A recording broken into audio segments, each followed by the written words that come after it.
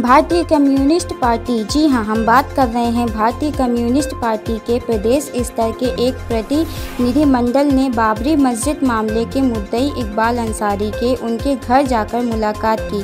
अयोध्या विवाद मामले में सुप्रीम कोर्ट की ओर से आए फैसले के बाद पहली बार भारतीय कम्युनिस्ट पार्टी के राज्य डॉक्टर गिरीश के नेतृत्व में एक प्रतिनिधि मंडल अयोध्या स्थित इकबाल अंसारी के घर पहुंचकर सुप्रीम कोर्ट की ओर से आए फैसले पर उनकी राय जानी।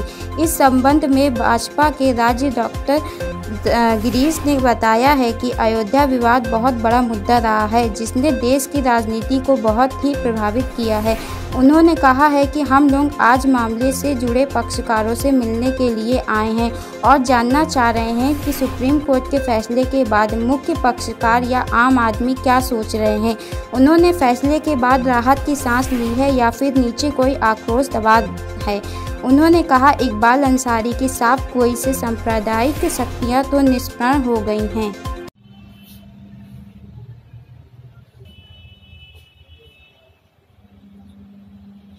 नब्बे में मिल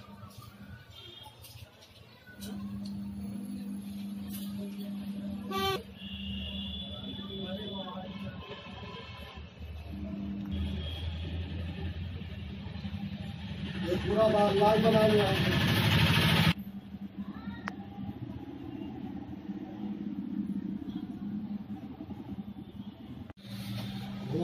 काट काट के बनाना।